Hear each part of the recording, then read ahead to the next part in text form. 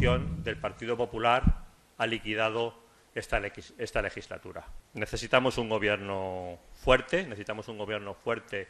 y legitimado y, por lo tanto, creemos que es el, momento de, de, una solución democrática, de dar la voz a los españoles, exigirle al señor Rajoy que convoque elecciones para dar salida y, si no lo hace, presentar una moción de censura instrumental. Usted me pregunta por la moción de censura del señor Sánchez, que no es entiendo esa moción de censura instrumental, no lo sé, el señor Sánchez no ha hablado con nosotros para la moción de censura que ha propuesto, eh, por lo tanto no ha recabado el apoyo de Ciudadanos para eh, esa moción de censura que entiendo que han presentado esta, esta mañana.